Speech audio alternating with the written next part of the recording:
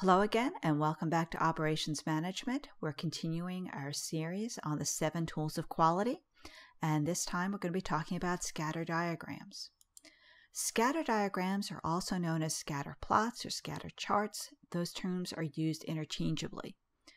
In essence, what we're doing is we're plotting two variables against each other on a graph to look for a relationship between those variables. So to use a scatter plot, we're trying to think are two variables related?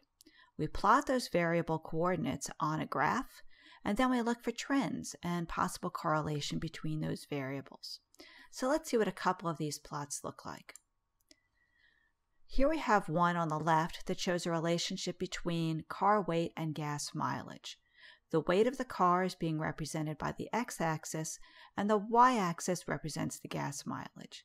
Using xy coordinates, for each car weight, there's a corresponding gas mileage, and it's plotted there on the chart.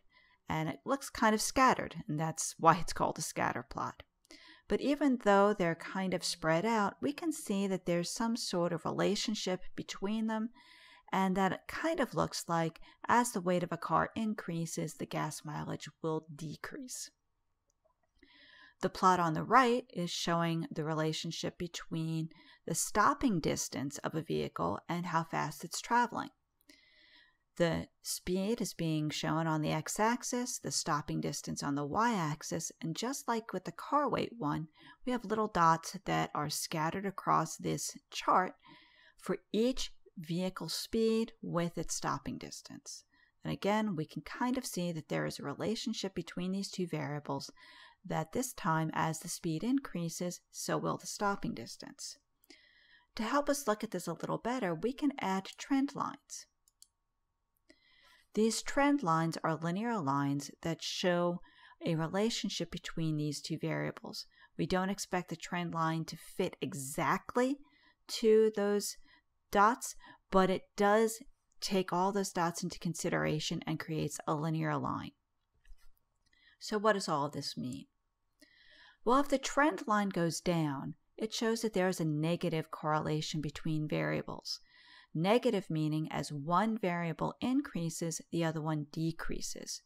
So in the case of the car weight going up, that means the gas mileage goes down. The trend line going up means that there's a positive correlation between the variables, which means as one variable increases, so will the other one. As the speed increased on the vehicle, so did the stopping distance. Now, there can be other possibilities. There can be no correlation, there can be cyclical, there can be patterns. There are all sorts of things that can happen with scatter plots, and I just showed you a couple of them. But how do we go about making a scatter plot? Well, in Excel, we would enter the data into two columns, one representing the x coordinate and the other one representing the y coordinate. So in this case, if we had a batch size and the number of defects, we would have the batch size as one coordinate and defects as the other. Once that's in place, we would select the X, Y, or scatter plot from Chart Tools, and it would create the chart for us. And then we can edit it to add the axis titles. And you can see those data points sitting there on the chart. Then we would add a trend line, or in addition to that, we can add the r squared, which is the coefficient of determination. And that trend line typically will start with a linear trend. That's the default. And that shows how that relationship works.